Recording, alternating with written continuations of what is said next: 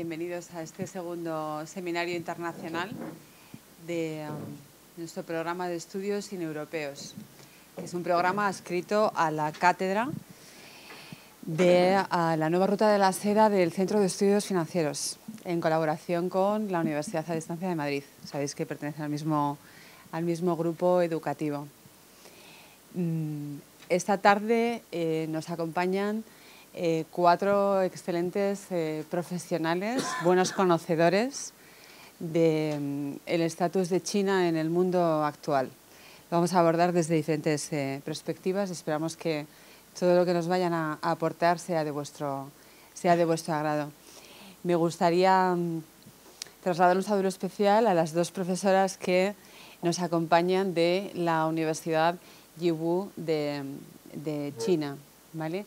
Em, esta actividad, además de estar em, asociada a las actividades divulgativas de nuestra, cátedra, también forma parte de las actividades formativas y divulgativas de un programa europeo de internacionalización en el ámbito de la educación superior que eh, llevamos desarrollando con esta, universidad desde hace ahora ya casi dos años.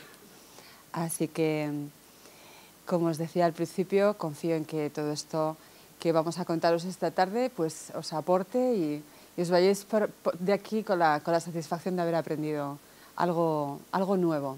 ¿eh? Así que, welcome everyone to this uh, second program of the Seminar of International Studies um, of the European and Chinese, which is part of the activities of our master. It's an inner master between Rey Juan Carlos University and Udima University. And it's a part of an activity also of our Chinese chair, the, the CEF Chinese chair.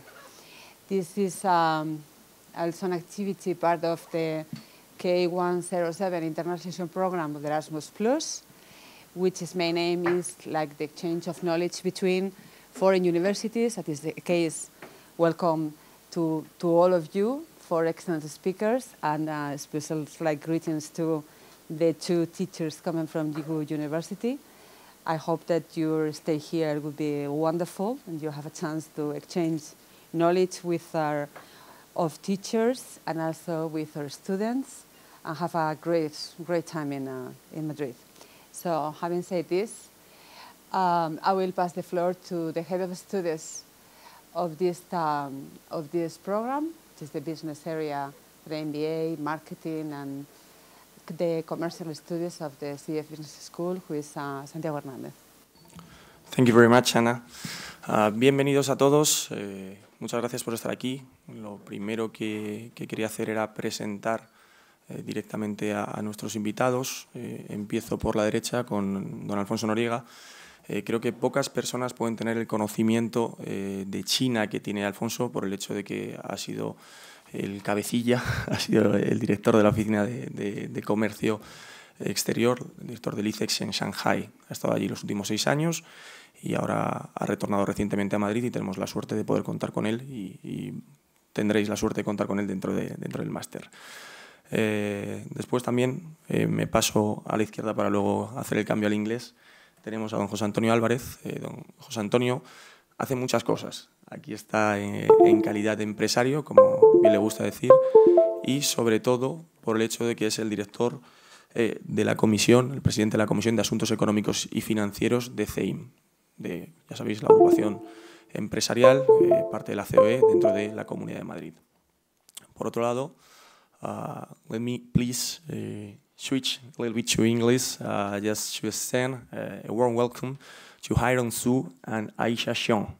Uh, they are guest professors from our brother college, the IWU Industrial and Commerce College. It's a college that uh, you all will have the opportunity to visit in the future, and I think that uh, today, this evening, uh, they'll give us some tips about that and about what IWU means in the whole world and in the foreign trade uh, area.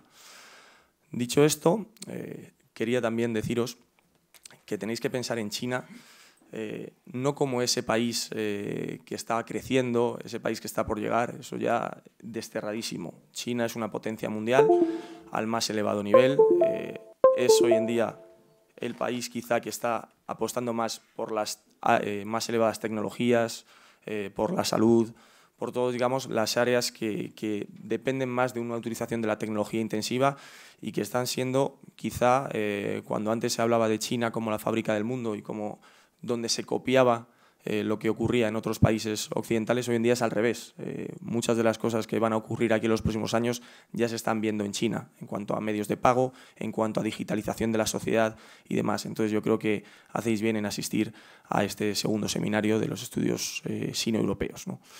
Pues sin más dilación voy a darle la palabra a don Alfonso Norega para que nos hable y nos dé su conferencia. Gracias. Bueno, muchísimas gracias por tu generosa introducción, Santiago, porque la verdad es que pues creo que te has pasado ¿no? con lo que has dicho. Pero bueno, eh, Xiao Hao. ¿eh? Um, I will start a little bit with some uh, Chinese, okay? Eh, la verdad es que he estado desde seis años, como bien ha dicho antes Santiago, eh, en China. No han sido los seis años en Shanghai. He estado tres años en Guangzhou, en primer lugar, que se encuentra en el sur del país, cerca de Hong Kong, y eh, otros tres años en Shanghai. ¿no? La verdad es que la experiencia ha sido espectacular, porque, como bien decía Santiago, China es un país que importa, y a veces lo vemos en la distancia, lo vemos circunstancialmente, o incluso superficialmente en la prensa, pero lo que es cierto es que para conocer, aunque sea superficialmente, porque para un occidental es muy complicado conocer un país como China, eh, por lo menos para rebañar la superficie es muy importante estar allí. Espero que a los que os interese lo que escuchéis hoy aquí en este seminario tengáis la oportunidad en el futuro de ir allí si no habéis estado y la oportunidad de conocerlo. De hecho, conocí a Santiago eh, por primera vez eh, con ocasión de una visita de, de algunos alumnos que se organizó yo creo que el año pasado, antes de que me viniera, eh, o este año, el año pasado, ¿no? antes de que me viniera de vuelta aquí a España, y yo creo que fue una experiencia muy positiva ¿no? para, para todos ellos. Y yo, como os he dicho, he vivido en Guangzhou, que es una de las ciudades que primero se abrió al resto del mundo, de China, estoy hablando ya del año del siglo XIX una ciudad muy interesante cerca de, Shanghai y luego, perdón, de Hong Kong y luego, como os digo, los tres últimos años he estado en Shanghai. Shanghai es una ciudad que yo llamaría, suena un poco poético, preparado, ¿no? Pero es la ciudad espejo y escaparate. Es el espejo, ¿no? En el que se refleja el resto del país, ¿no? Para, digamos, de alguna manera copiar, imitar o, aspirar ¿no? a hacer y a desarrollar los modelos de negocio y los nuevos conceptos ¿no? que se desarrollan en una ciudad del dinamismo, capital financiera y económica del país, ¿no? como es eh, Shanghai. Y es la ciudad, diría yo, escaparate también porque es donde China muestra lo mejor de lo que tiene al mundo. ¿no? Y desde luego es un lugar excepcional para tener una pulsión de lo que está sucediendo en el país, aunque cierto es que lo que sucede en Shanghai se aleja también mucho de la media ¿no? de lo que está pasando en China. La verdad es que cuando has dicho que era un gran experto y tal, que llevabais seis años, hay un dicho que le he oído decir, unas frases ¿no? que le he oído decir a muchas personas que han estado ahí en China. ¿no? Cuando llegas a China, al cabo de una semana, te entran ganas de escribir un libro, ¿no? porque te sorprende todo, ves muchas cosas, crees que puedes explicarle mucho a la gente, ¿no? a los ignorantes, ¿no? por así decirlo, que no están allí. Cuando llevas ya algunos meses, bueno, rebajas tus expectativas, ¿no? ya a lo mejor escribes un artículo de algo parcial ¿no? sobre lo que crees que tienes un cierto grado de conocimiento. Cuando llevas unos cuantos años te quedas incluso, te quedas bloqueado, ¿no? Porque realmente lo que está sucediendo en ese país, la inmensidad, la magnitud de todo lo que está sucediendo es algo inabarcable y en muchas ocasiones de lo que te das cuenta es de que tus conocimientos se quedan rápidamente obsoletos. un embajador que conocí, Manuel Valencia, decía cuando al poco de volverse a España, alguien le preguntaba, ¿usted es un experto? A ver si nos da su visión sobre esto. Decía, pues mire, yo le voy a dar mi visión, pero a lo mejor se ha quedado obsoleta porque me he ido ya hace dos o tres meses y en China realmente, y este es uno de los principales consejos que le damos a muchas empresas, hay que estar. Si quieres hacer negocios con China, si quieres tener relación con este eh, país e interactuar adecuadamente, es necesario estar allí, es necesario viajar y crear y tejer las relaciones ¿no? con tus interlocutores, bien sea en el ámbito universitario, educativo, bien sea en el ámbito económico, empresarial o en el ámbito institucional o gubernamental. Em, como os decía, a la hora de trabajar y desarrollar tu actividad en China eh, es importante, yo creo, eh, tener una serie de ideas claras. ¿no? Yo creo que por el tiempo que he pasado allí, como os digo, por un lado es complicado mm, realmente conocer el, país, sobre todo para un occidental. Eh, debemos aspirar a conocer la superficie, los usos y costumbres básicos del país. Os voy a contar, digamos, algunos de los aspectos que más me han llamado a mí la atención y que más eh, llaman la atención también a los, a los empresarios, muchos empresarios con los que he tenido contacto ¿no? a través de mi trabajo en la Oficina Económica Comercial de España, tanto en Cantón como en Shanghai, donde nos dedicamos precisamente a ayudar a exportar y a invertir a empresarios españoles. Lo primero, la escala.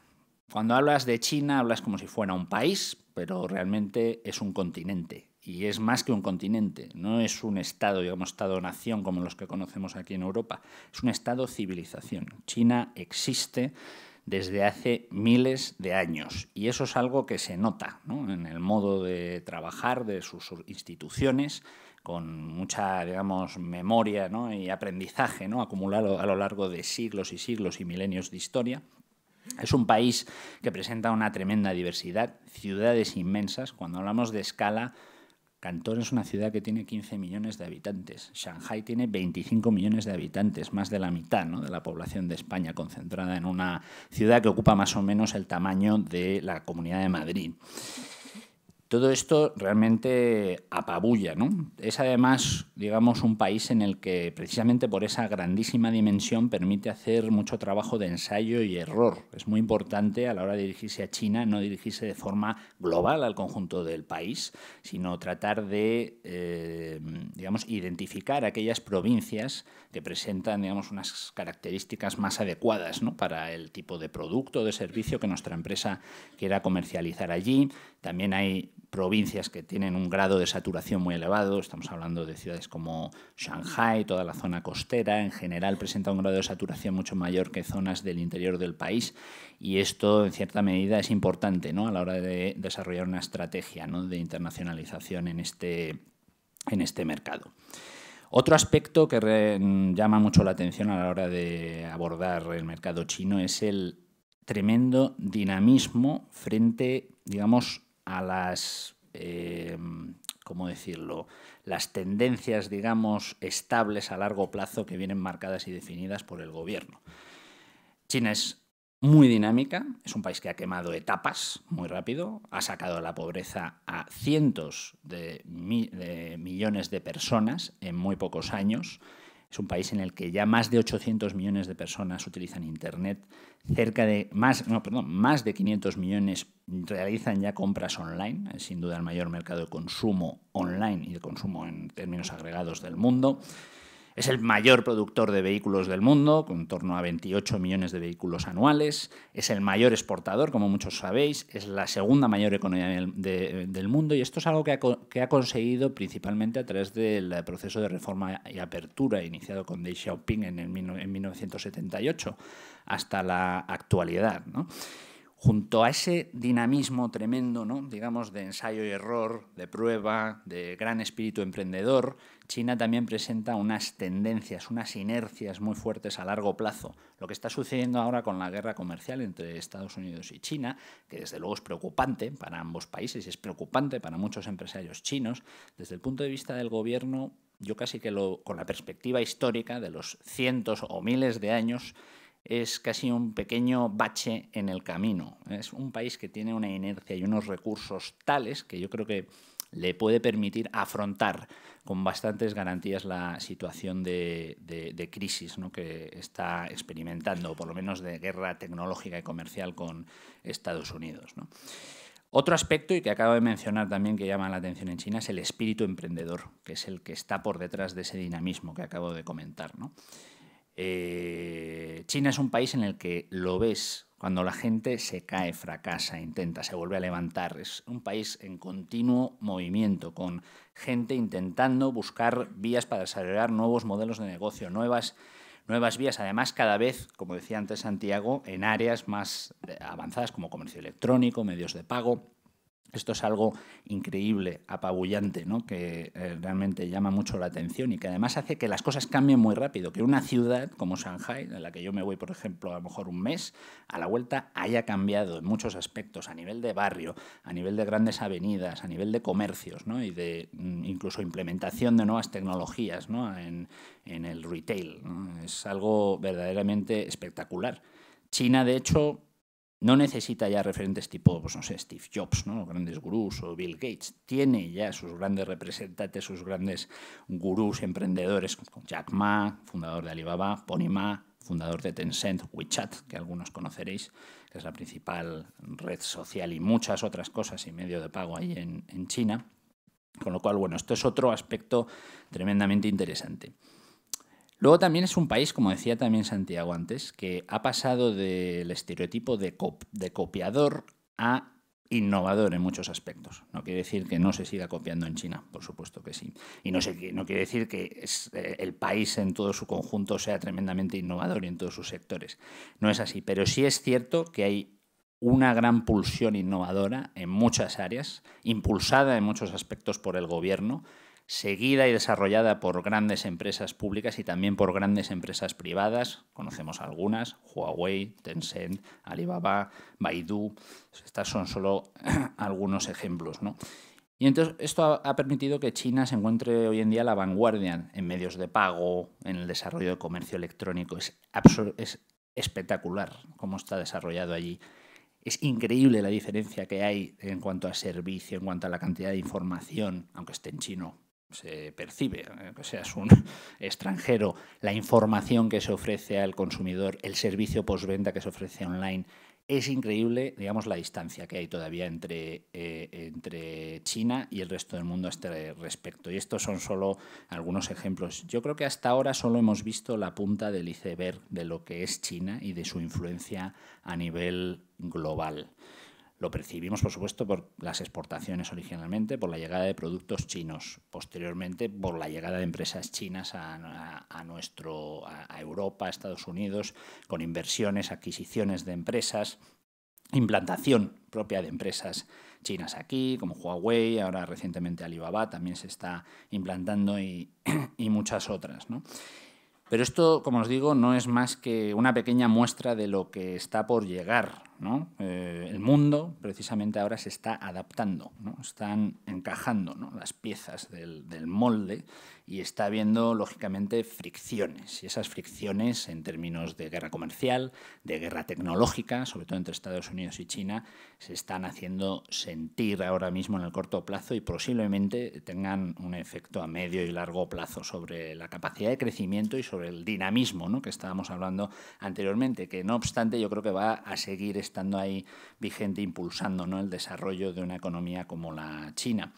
Iniciativas como la nueva ruta de la seda, que bueno, le da nombre, ¿no? One Belt, One Road a la, cátedra, y que además yo creo que en parte ha traído ¿no? a las ponentes de Yigu por eh, el establecimiento de esa línea ¿no? entre Yigu y Madrid, que forma parte de este proyecto son, digamos, el reflejo de cómo China está tratando de vehicular su influencia a nivel global a través de infraestructuras, de conectividad y de alguna manera tratar de compartir en cierta medida el progreso y el desarrollo mm, que, están llevando a cabo y, fomentar, digamos, esa conectividad con el resto del, mundo.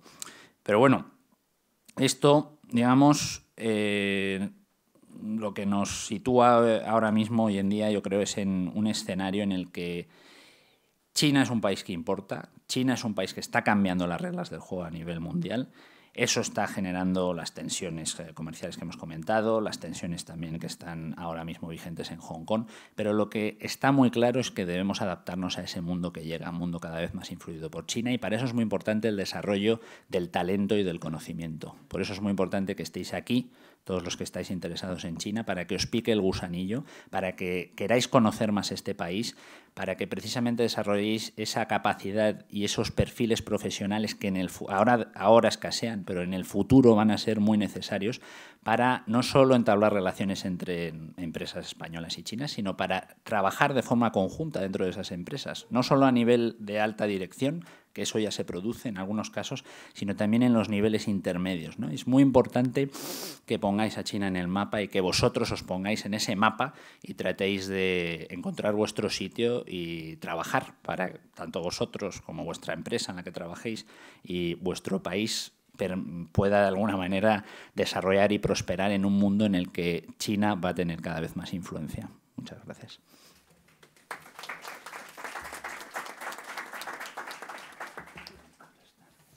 Muchas gracias a ti, Alfonso.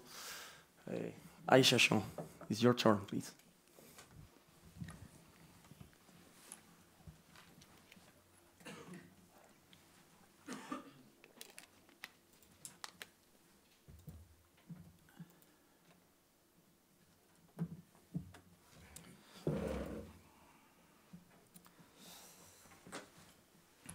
Hola.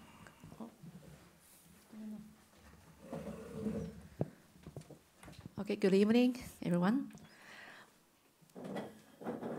I'm sure you are very familiar with these pictures, right? As you can see, yeah.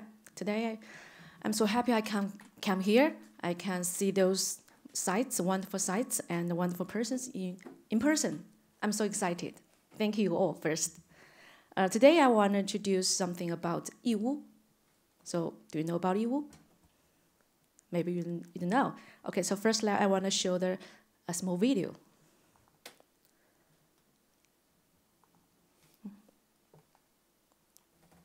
Doesn't work?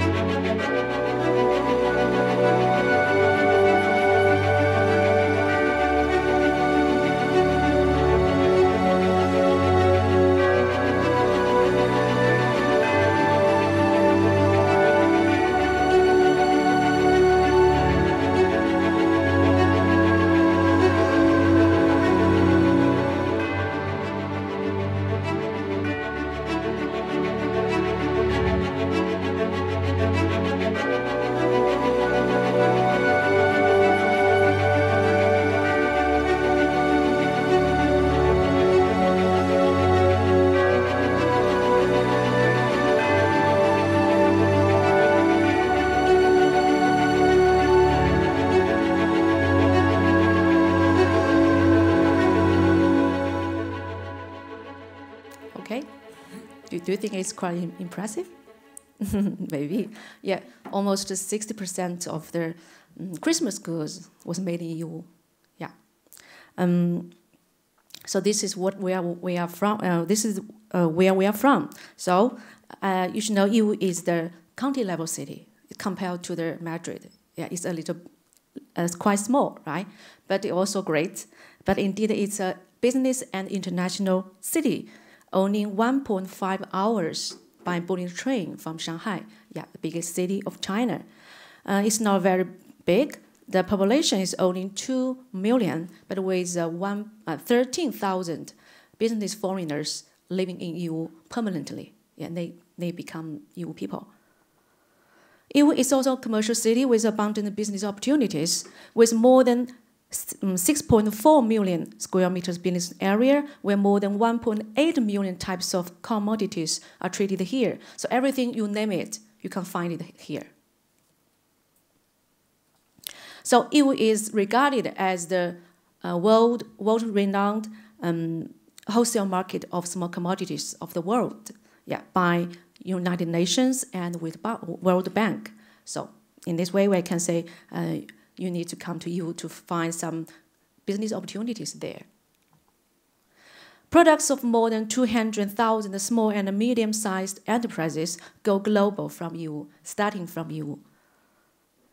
So there is a slogan always uh, want to introduce EU, that is, the EU is a sea of commodities, the paradise for shoppers. So you cannot imagine yeah, so many um, products there. Also, through e-business, over 250,000 e-commerce accounts have been registered in EU. EU ranks the first in the density of domestic trade online dinners and the second in the density of foreign trade online dinners, only after Shenzhen. As you can see, there are many, many um, platforms like EU.com, Amazon.cn, Amazon.com, DHgate.com, and so on. Many, many platforms. Also, important import trade is developing at a staggering rate, it's developing very fast. So there are many, many uh, activities to promote that. For example, import products shopping festival, there is EU imported commodities fair, and also I have to mention this one, yeah, the imported commodities mall, founded in 2008, uh, is leads China by introducing nearly 60,000 kinds of superior goods, yeah, quality products from over one 100 countries and regions. And later, my colleague, Ms. Zhou, will tell you the um, description, yeah, full description of that. Why e-commerce is booming? So I think one of the reasons is that glo going global strategy is actively carried out. So EU opened China-Europe free trains. Yeah, we always say 一心欧, yeah, free trains, service heading for nine different destinations. Uh, for example, yeah, Madrid of Spain and London of UK and um, Warsaw, Poland. Yeah, many, many destinations. As you can see, yeah, starting from EU. Alongside the train routes, we have already set up five logistics and distribution centers in such as cities and Warsaw of Poland, Duisburg and Hamburg of Germany, and Madrid of Spain. We also established 13 overseas warehouses, like, yeah, like in, in the USA, in Australia, in Germany, of course, in, in Spain. The Yixing-O EU Xinjiang Europe free trains rank first among China's all the free trains in terms of the route number, trip distance, and occupancy rate. You know, for example, before, yeah, when red wines always carried in ocean, by ocean, right? Almost it takes two months. Wow, it's, it's time consuming. But right now, through these free trains, it only takes 20 days or so. So it can reduce the cost by 15% to 20%. So it's quite, it can save the cost. So right now, Yiwu Ningbo Zhoushan Open Corridor under construction will further facilitate sea railway transportation that link Yiwu with the 21st century maritime Silk Road. So Yixing-O free trains, that's want to improve their service by train. So this is one of, you want to improve the um, logistics in maritime Silk Road. Platforms for opening up are also constructed. A processing volume of EU International Mail Exchange Bureau and station ranks the fourth in China. Business volume of EU Bonded Logistics Center ranked the seventh in China. The fourth aviation port in Zhejiang province, Yiwu is the fourth aviation port in Zhejiang province, and the only railway port in Zhejiang province.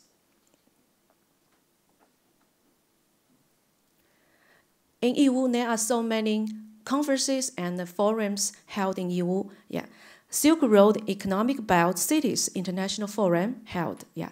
China Africa People's Forum, China Japan South Korea Friendship Cities Exchange conference held in Yiwu, Sino-Nordic Young Champions Forum, International Forum of the SCO member states on legal service for the Silk Road, EU International Marathon is always held every year. It uh, attracted many, many foreign people to, to join together. I think this is a good way to, um, to help people know each other. Uh, EU is also a vigorous and innovative city. Yeah, EU uh, has won a lot of prize. Yeah, a national pilot city of comprehensive reform on international trade, a national pilot city of new urbanization, reform on rural housing land system, a pilot city of reform on investing and financing system of infrastructure, a pilot city of application of e-commerce statistics data. So EU has won a lot of prize. Not only is not only is the business city, also EU is the cluster of modern industries and not only small commodities. A home to more than 260,000 industrial com companies ranking top in their respective fields. The production of seamless underwear accounts for 30% of global output. Currently, fashion, information, equipment, health, and other industries of strategic significance are developing rapidly. As you can see, the automobile cars also now is a base in EU. EU is the host city of a number of national exhibitions, such as EU Fair, and on October 22nd, it will have it will open the EU Fair. It's, it's the third it's the third yeah fair of China cultural fair, forest fair, and tourism fair, and more than 130 speci special exhibitions in various fields annually. EU is a cradle for innovation and entrepreneurship. EU has more than 330,000 market entities of all categories, ranking the first among all counties in China. So there are many different kinds of uh, innovation park spread, spread out in EU. So you can see Korean Design Base, Bingwang Cultural Creativity Park, EU Taiwan Design Center, and so on. Enterprises in EU won the most prestigious product design awards, such as IF Product Design Award and the Red Dot Award. EU has been accredited as one of the 10 cradles of makers across the nation. EU is an open, inclusive city with a lot of foreigners living here. Nearly 500,000 foreign merchants visit EU for procurement annually, and 13,000 foreign traders from more than 100 countries and regions live in EU. So th those statistics, that means they live in EU permanently. So they become, they become the EU people. Commodities are exported to more than 210 countries and regions worldwide. More than 65% of its market is export oriented. EU is a communist city with all-round foreign-related service system. As you can see, yeah, we have International Trade Service Center. So this service center is, is, uh, is faced with foreigners, so they can do everything very easily here one stop, one stop. So you can see staff in local police department, foreign affairs office, and other related departments are able to communicate with foreigners in more than 10 languages. So when foreigners came to EU, uh, languages is not the barrier. So many, many officers can speak uh, different languages. So this is a good way and a good aspect for foreigners. Yeah, this is a mediation committee for foreign-related disputes has been specially established, and this is the first of the China. Uh, if the foreigners has their disputes with Chinese people, so here is the uh, is a place can help you to solve problem. Uh, people from different nations, regions, ethnic groups, and religions live in harmony and set up their business together. So there are so many pictures here. So it, uh, that's the, I think it's a wonderful view to all of us that is, they can do business together. So EU will focus its efforts on further integrating with the Belt and Road Initiative by building itself into a trade hub of global small commodities, a city of pioneering spirit and entrepreneurship, and the world's capital of small commodities.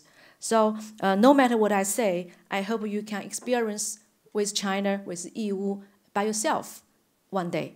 So I really hope you can come to EU and I can see you there. Okay, thank you.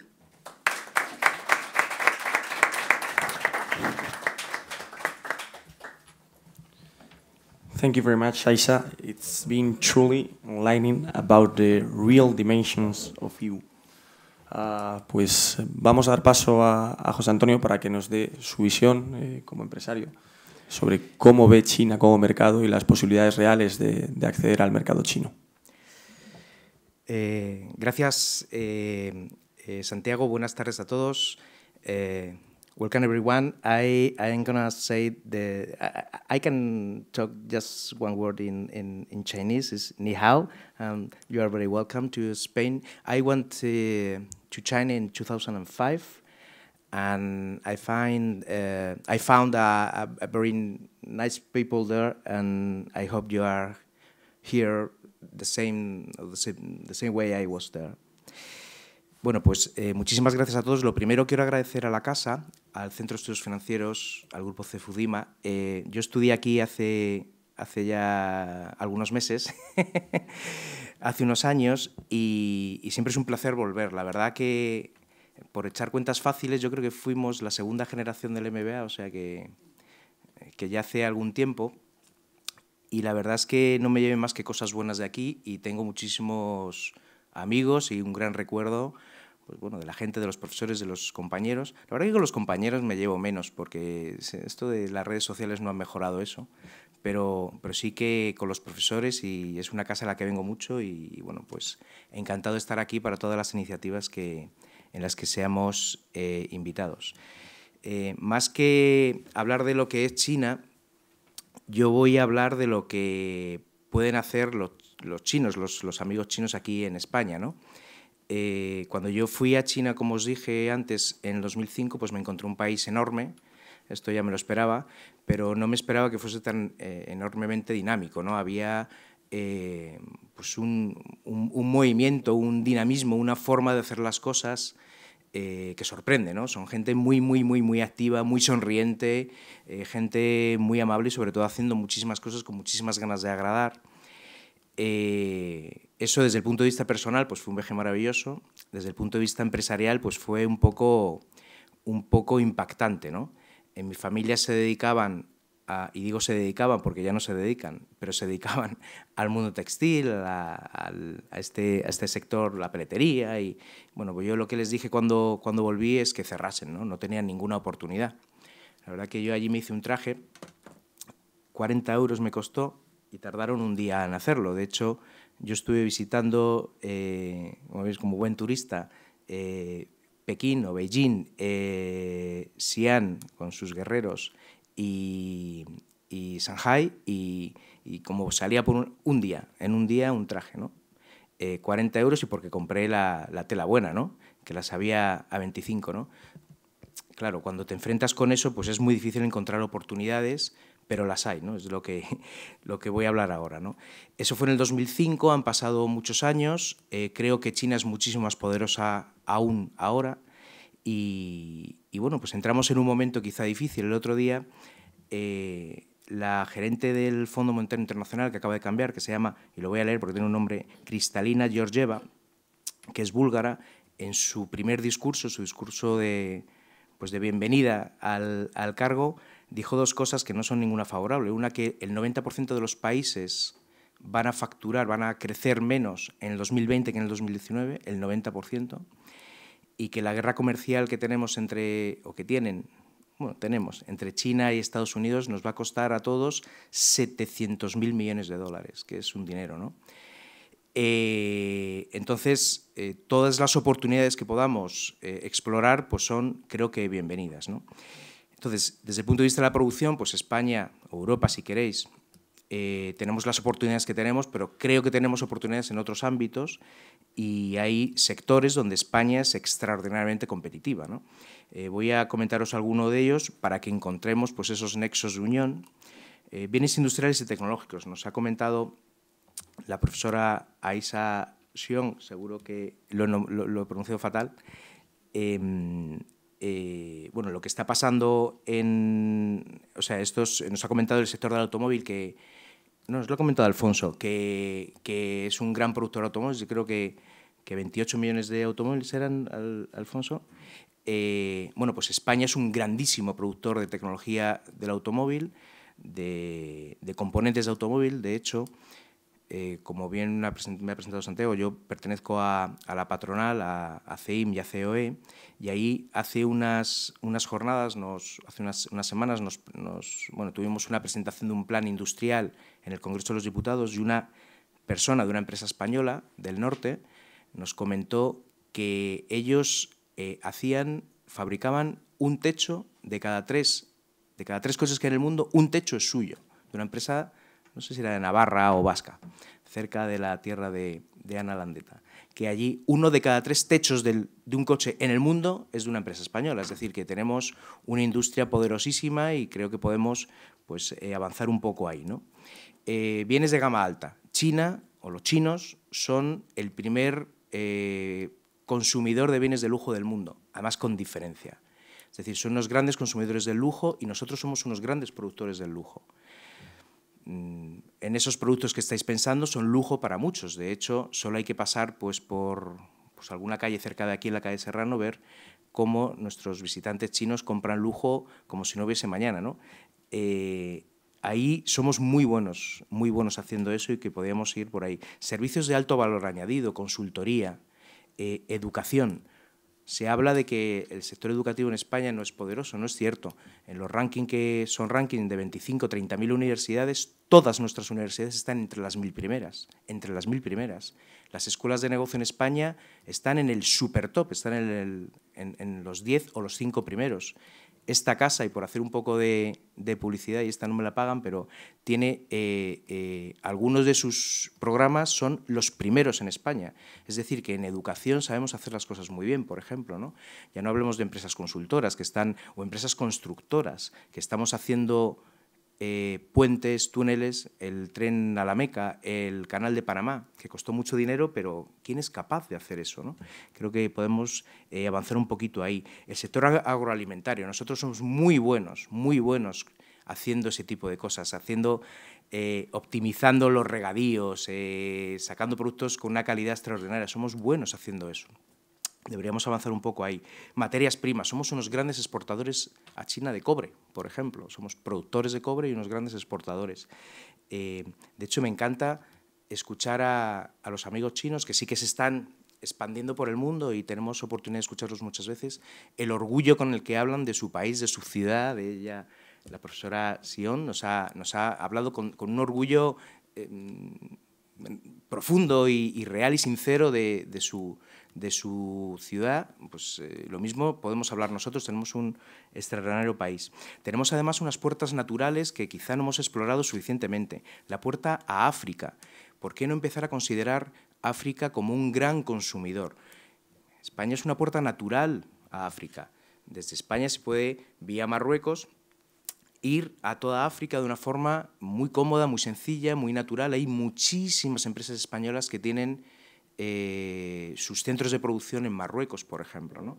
Creo que es una, entrada natural. Ya no digamos, y veo por ahí atrás a, una persona muy importante aquí de Relaciones Institucionales, que es Freddy Araujo, Latinoamérica. Lo digo porque él trabaja mucho ese mercado, el, mundo latinoamericano. Decía García Lorca, que, es, una, es un poeta muy importante en España, decía que no se puede conocer España sin conocer eh, sin visitar eh, Latinoamérica. ¿no?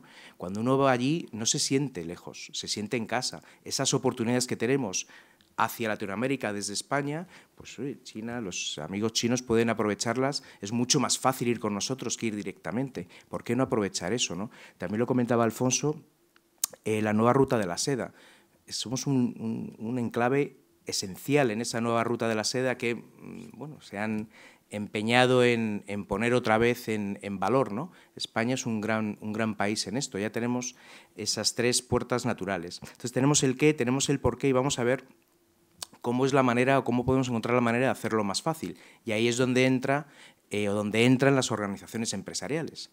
No sé si sabéis que eh, CEIM, por ejemplo, la Confederación Española eh, Confederación de Empresas Independientes de Madrid, que se llama, eso es lo que significa CEIM, pues es una agrupación, es la patronal de las, asociaciones y cubre el 98% del sector industrial, empresarial, del comercio. Todos los sectores están representados en CIN en un 98%, prácticamente todos. CIM está integrada en COE, COE es la gran patronal, quizá demasiado desconocida, pero prácticamente todo el tejido industrial en España está integrado en COE, es decir, se puede establecer un interlocutor único para entrar a cualquiera de estos sectores. COE tiene relaciones con sus equivalentes, con sus pares en todo el mundo, toda Europa, toda Latinoamérica, toda África, con muchísimos países. ¿Por qué no canalizar toda esa necesidad de conexión a través de estas organizaciones empresariales? ¿Por qué no participar las empresas chinas, españolas, en jornadas, en, en oportunidades de este tipo que conecten más y mejor todo este tipo de, de, necesidades. Las necesidades y las oportunidades están ahí. Esas son las agrupaciones empresariales, esas son las asociaciones empresariales, eso es la patronal. Yo soy un, férreo defensor de que juntos es mucho más fácil. Creo que, que los sectores deben ir juntos, los sectores deben aprender unos de otros y que eh, eso, ese carácter tan, tan favorable al comercio, ese carácter tan, tan afable que tienen pues los amigos chinos creo que podrían aprovecharlo un carácter, pues en el fondo parecido a los españoles. Nos encanta reírnos, nos encanta pasarlo bien. Nosotros en muchas de las jornadas que hacemos, pues hay incluso en la propia COE, hay, hay ya colectivos de, de, chinos que están aquí en, o de empresas, bueno, de representantes de, de empresas chinas que están ya establecidas en España, incluso de segunda generación, y la verdad que les va a todos fenomenal. Y, y, son muy abiertos, les gusta lo mismo que nos gusta a los españoles en cuanto a salir, a disfrutar, a, aprender, a aprovechar las oportunidades, y, eso es lo que ofrecemos a, todas las empresas chinas, ¿no? utilizada España, y por dar un repaso rápido en los sectores donde somos competitivos, que somos en muchos, ¿eh? tenemos quizá demasiado complejo, falta de orgullo, de pertenencia quizá a este país tan, tan maravilloso, y luego las ventajas estas naturales que os comentaba, hacia África, hacia Latinoamérica y la nueva ruta de la seda. Bueno, a ver si entre todos podemos aprovechar estas oportunidades. Muchísimas gracias.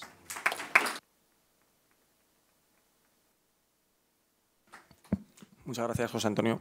La verdad es que siempre que te escucho dan ganas de formar empresa. Entonces, bueno, es una de las salidas naturales eh, de, de, los alumnos de, de, MBAs. Así que a los alumnos que están por aquí, pues os incito a ello. And last but not least, please welcome uh, Ms. Hiron Su, uh, who will uh, continue speaking about Yiwu and about the opportunities between Spain and China.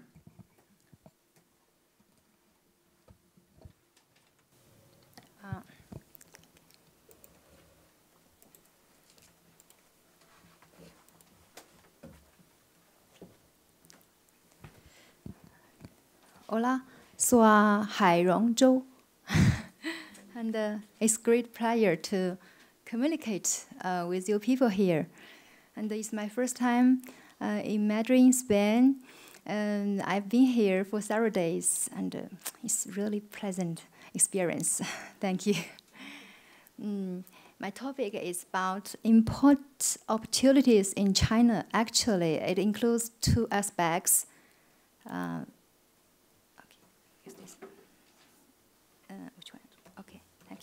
Uh, the first is EU-China imported commodity city, and the second aspect is online sales of Spanish goods in China. Now, uh, EU China Commodity City founded in 1982 and is one of the earliest professional markets in China.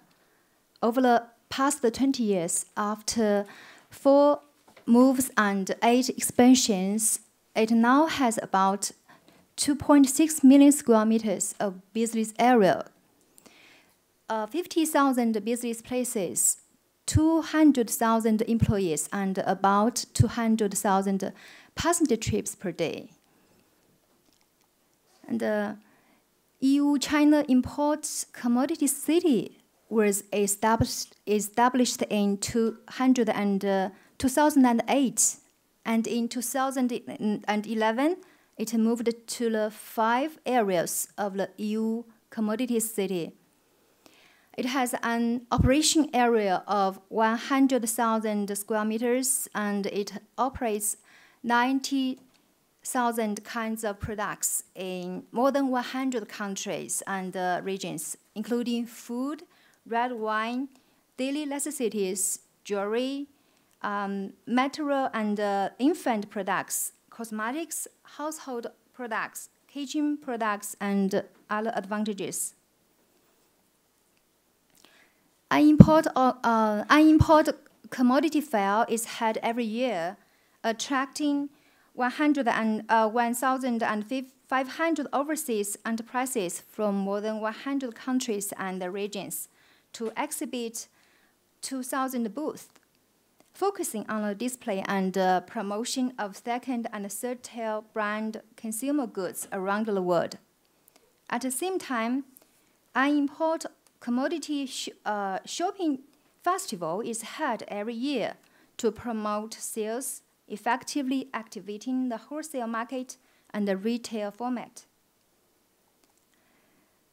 Through one exhibition and one festival, we can effectively enlarge the radiation level and influence of the 200 kilometer diameter of the import commodities in city in the Yangtze River Delta.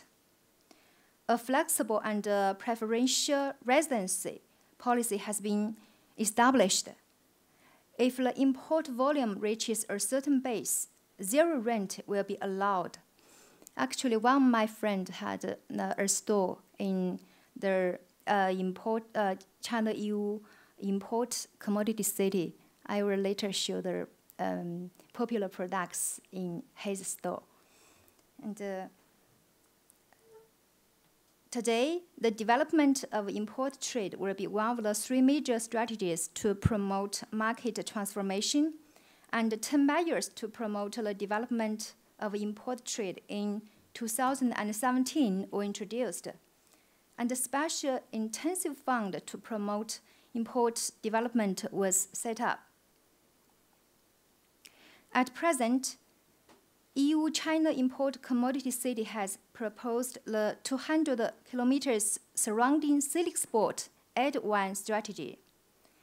Uh, it attracts many travel agencies to collect EU-China Import Commodity City as an important tourist route. The strategy has been positively responded by many travel agencies, and uh, related tourism projects will be officially launched on October 1st this year. According to preliminary estimates, by steadily advancing, advancing the project and through three years of cultivation, the average daily passenger flow of EU-China import commodity city is expected to increase from 4,000 to 12,000 bring annual sales of more than 1.2 billion yuan RMB. And uh, that, that is um, my friend's store uh, in uh, EU China imported commodities city. The Spain imported goods hall. He sell Spanish wine. I don't know uh, if you are familiar with this brand. Yeah um, he sells about uh, 150 150,000 bottles per year. Yeah. And uh, 5J ham, yeah, Spanish ham. Um, this kind of ham is very popular in EU. Um, it is sold out very quickly. Now they are out of stock we can't find one. Just uh, you see the bags. I, uh, yeah, I will take the opportunity to uh, taste it in Madrid. and uh, uh, Spanish leather shoes, very good quality, and uh, they're expensive actually. Mm. each booth is over 1,000 RMB. Yeah, each shoes, and. Uh, okay. Second, I will tell about something about online sales of Spanish goods in China. Uh, with, uh, with now we, uh, before that, we uh, see the physical store, and uh, how about the online sales? You see, China is um, a very uh big market for online sales. In 2018, China's cross-border e-commerce retail import and export transaction volume has reached a new level. According to the data of the General Administration of Customs, the total volume of import and export commodities um, in 2018 was uh, 103, uh, 34.7 billion yuan, uh, a year-on-year increase of 50%. Among them, the export commodities amounted to 56.12 billion yuan, an increase of 67%. The value of imported goods was 78.58 billion yuan, an increase of 39.8%. Compared with 2017, the export growth rate is obvious and the growth rate has increased by 25.7%. Imports still accounts for more than 55% of the total. According to the this big data monitoring, the top three commodities in 2018 were cosmetics, grain, oil, food, clothing, and shoes, accounting for 35.9%, 24.2%, and 13.3%, respectively. Uh, now let's come to the question. Uh, what are the popular uh, products uh, from Spain online, online sales? Now let's take a look. I did a research um, on Tmall.hk. Uh, it's uh, top one. It's top one um, online uh, e-commerce platform in China. Okay, uh, it belongs to Taobao. You heard Taobao, right? Yeah, uh, belongs to Alibaba. Yeah, Alibaba. and uh, uh, Tmall.hk. Uh, this is uh, uh, one. Um, we can say one part. Uh, one part of Taobao, Alibaba. Uh, it, it specializes in selling uh, imported goods. And uh, when I search for uh, Spanish wine, then it comes out the picture here. And it has more than 1,200 links. Um, the most popular uh, wine sold online is the colorful, it's the colorful wine um, I don't know. Yeah, the, the red one, very colorful. The, the pink ones, yeah, it's, it's popular online. But in physical store, mm, not, not this kind of wine, right? yeah. So people have a different taste. yeah. And uh, this is um, uh, another picture uh, I got from uh, Jingdong. Jingdong is the uh, top two online um, e-business in China. And uh, there are more than 1,300 links.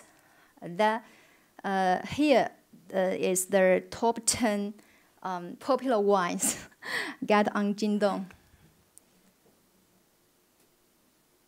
You see the, the numbers here? The first one, uh, it's um, 13,000 feedbacks. Uh, he got 13,000 feedbacks on, on that kind of, uh, yeah, one, yeah.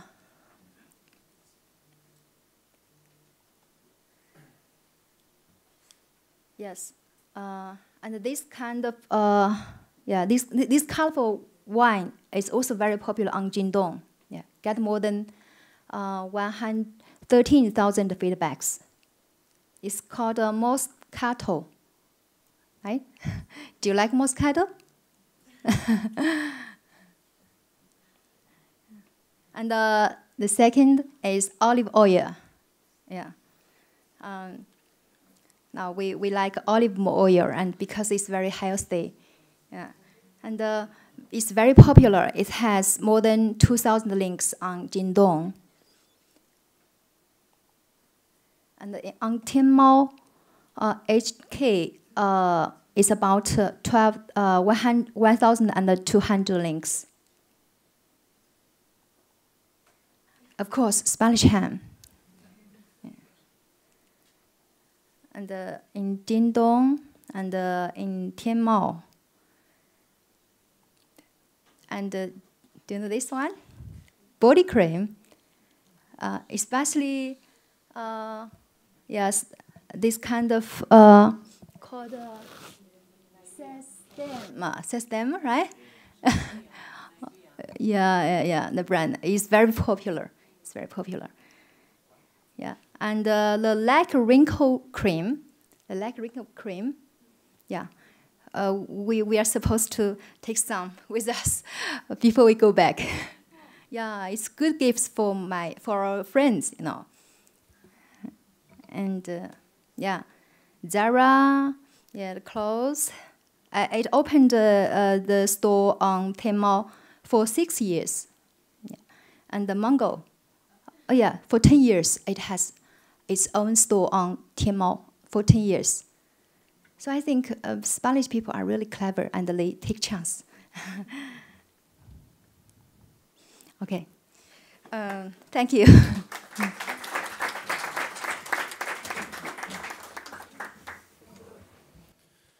Thank you very much. Yesterday in our uh, office lunch, we were speaking about how worried I am about the increasing price of the Spanish ham due to the fact of Chinese taste on it.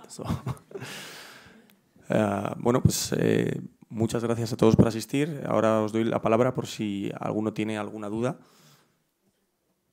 Ruegos y preguntas.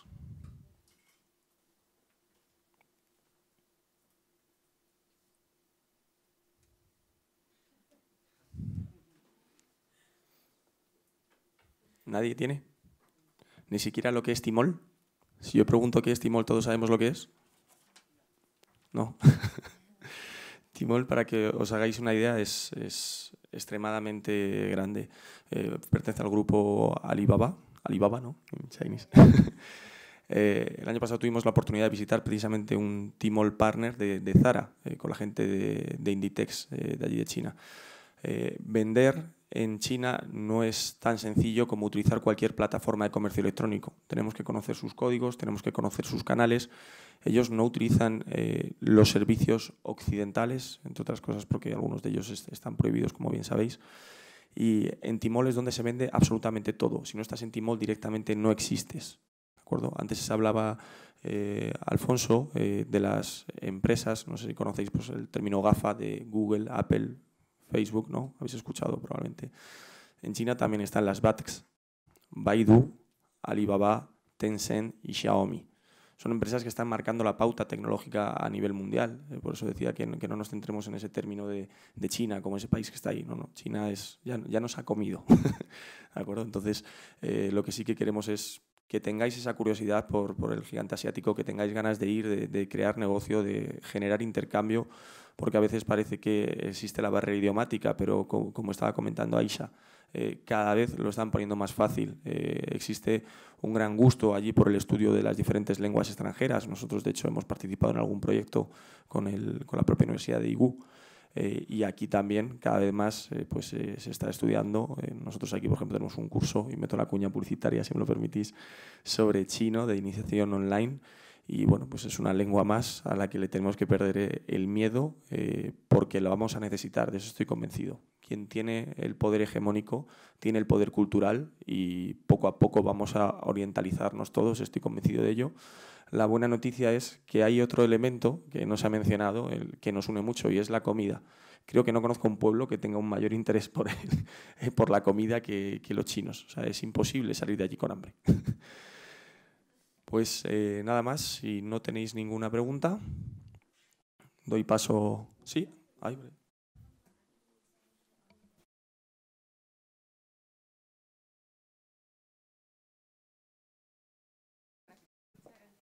Vamos a pasar el micrófono. Bueno, muchas gracias. Mi nombre es Rebeca Wang y bueno, vengo para escuchar este, este foro sobre la historia, economía y la cultura y economía, sobre todo sobre China. Y una cosa es que eh, espero que en este foro estamos hablando un poco los talentos chinos o talentos españoles, cómo llegar y cómo buscar un trabajo y empezar su vida allí.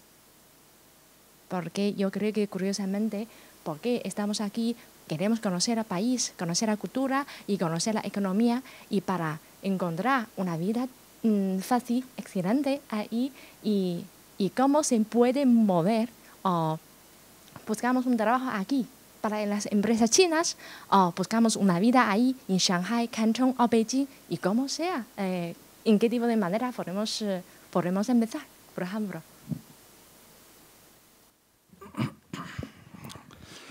Bueno, o sea, cada caso y cada persona es un mundo, ¿no? Nosotros en la oficina comercial eh, tuvimos la oportunidad de tener contacto con muchísimos emprendedores españoles que llegaban allí por primera vez, que empezaban a explorar oportunidades o que intentaban comercializar sus productos, sus servicios que habían tenido éxito en España o en otros países, allí en China, ¿no? Y la verdad es que pues no es, no es sencillo, ¿no? Pero desde luego hay que tener una clara vocación por el mercado. Cuando vas a China tienes que pensar que las cosas no van a salir de la noche a la mañana, a pesar de ese gran dinamismo del que hemos hablado. Es un mercado de largo plazo, es necesario estar allí. Y además es necesario, sobre todo para los españoles, saber que no pueden ir solos, por así decirlo, a pecho descubierto, sino que en muchas ocasiones es muy importante encontrar una interfaz local es decir, una persona que viva allí, que conozca el país, un local. No es una cuestión a veces solo de hablar el idioma a la hora de ir a China, sino es una cuestión de mentalidad ¿no? y de integración y de comprender de alguna manera lo que está pasando allí ¿no? y lo que nos están proponiendo. Y eso en muchas ocasiones solo se consigue con alguien que nos lo traduzca, que sepa traducir los códigos, usos y costumbres chinos a los códigos y usos y costumbres españoles ¿no? y occidentales. En las oficinas comerciales también lo que hacemos y hacíamos, porque yo ya no estoy allí, ¿no? pero era precisamente ayudar a orientar a las empresas. Saber que es un mercado a largo plazo, un mercado que requiere inversión y que no es para cualquiera. A pesar de que es un mercado inmenso, China, he oído muchas veces decir, bueno, yo con que me lleve un 0,0001% ¿no? de la cuota de mercado, pues oye, lo multiplicas por los 1.370 millones de habitantes y te salen las cuentas. No, China es un mercado muy competitivo. De China además hay que segmentarlo, ¿no? como he dicho antes, y no es tan sencillo abordarlo. ¿no? Desde las oficinas ayudábamos a las empresas a tener esa primera toma de contacto, ayudábamos a um, que tuvieran información básica sobre las oportunidades del mercado, la regulación, les ayudábamos a buscar y a identificar socios o distribuidores ¿no? de sus productos y también ese interfaz, ¿no? esa persona que le permite mantener ¿no? el contacto habitual con el, con el país. Esto con empresas nuevas que llegan ahí. Pero vamos, eh, en cualquier caso, el trabajo que hemos hecho ha sido muy diverso. Yo simplemente quería comentar y aprovechar, eh, decir alguna algunos comentarios sobre lo que se ha estado diciendo. Yo he estado en Yiwu, por cierto, he estado en estos, lugares. I've been to Yiwu, I've told you uh, several times. Eh, y bueno, es una ciudad espectacular. Es una ciudad que merece la pena considerar precisamente porque en algunos aspectos tiene un menor grado de saturación, ¿no? sobre todo para la entrada de productos españoles ¿no? y su distribución desde allí. Pero bueno, lo cierto es que, como se mencionaba antes, el sector de automoción, pues es verdad, hay muchas empresas españolas de componentes de automoción que llevan ya décadas trabajando en China y que tienen cerca ya de 70 plantas productivas en el país. Esto a veces no se sabe, pero tenemos una posición, bueno, tenemos, nuestras empresas tienen una posición tremendamente destacada y avanzada. Y además, no lo hemos comentado antes, pero China es un país que está también a la vanguardia en el desarrollo de vehículo eléctrico y vehículo conectado.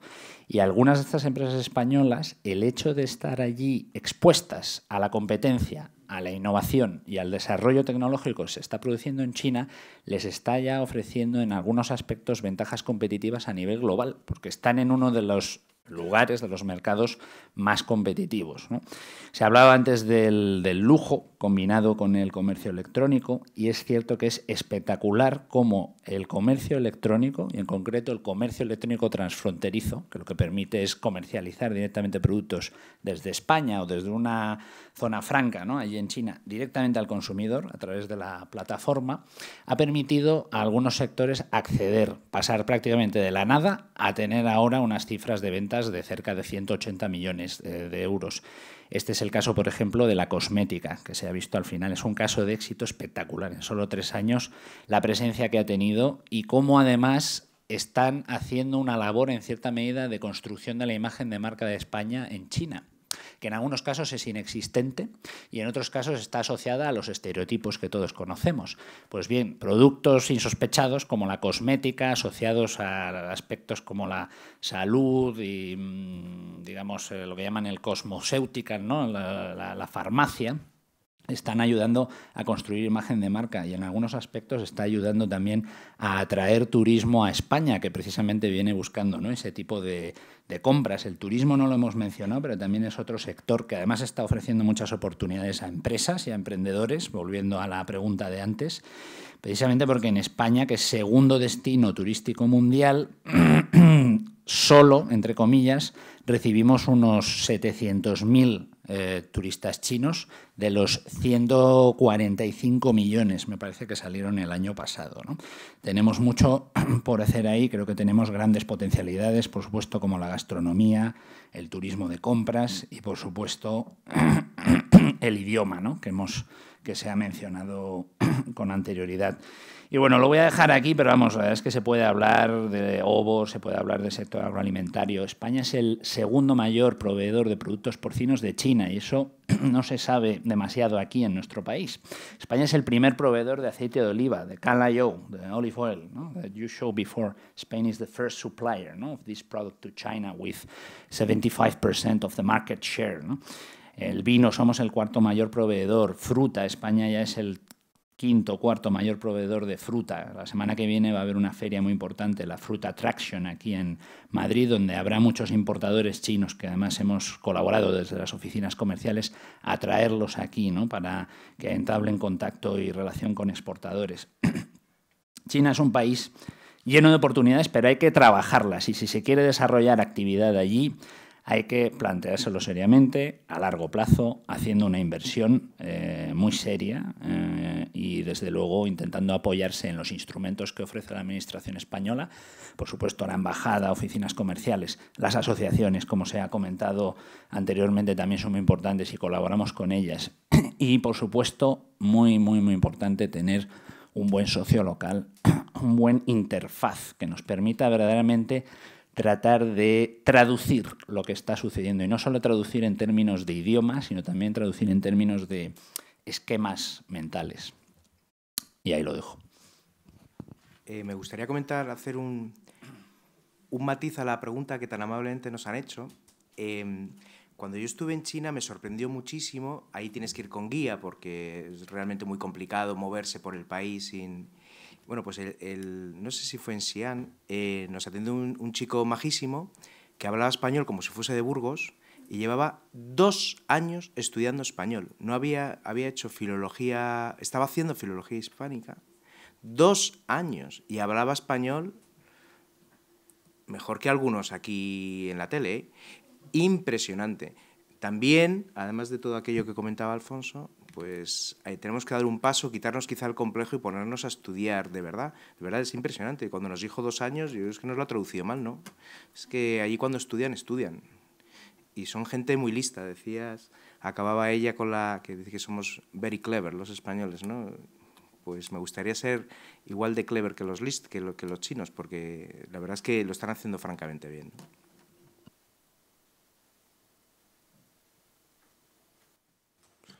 Bien, pues si no hay más preguntas, voy a dar paso a Ana Landeta, nuestra directora de Relaciones Institucionales, para que dé cierre a esta sesión.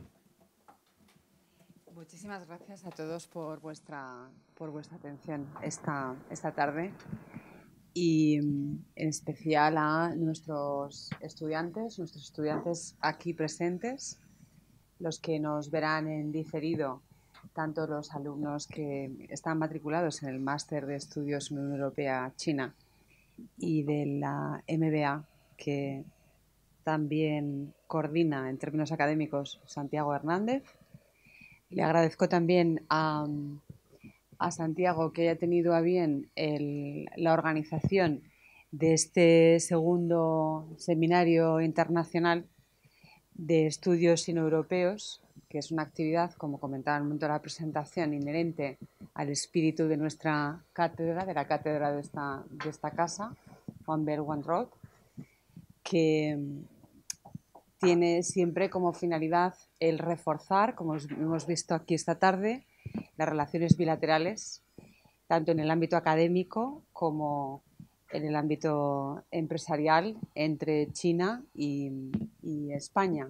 Y la importancia, una vez más, y el compromiso adquirido que tenemos en el Centro de Estudios Financieros y en la Universidad a Distancia de Madrid por impulsar la internacionalización, la internacionalización de nuestros estudios y también de, nuestro, de nuestras empresas. Os agradezco mucho que hayáis compartido con nosotros eh, vuestro saber hacer y vuestro expertise. Y mm, os emplazo a que nos volvamos a ver en, en breve, ya en el tercer, en el tercer seminario. ¿eh? Así que, thank you, thank you all. I mean, uh, I would like to thank you all for, for being here today, join us, and also sharing with us uh, your expertise. For being, it's been a pleasure hosting you this uh, these two days. So this is your your house from now on. Your home. It will be your home. Uh, the relationship we do have between the both universities, I think, is uh, excellent so far. So, in the name of the president of our former association, the director of our Chinese study chairs as well, and also in the um, in my own name as well as the head of uh, institutional relations and the head of, of this international project. I thank you. I thank you all for, for sharing with us your, your expertise, and then I will welcome you again in the in the third international um, Chinese Studies seminar in the near future. Thank you very much.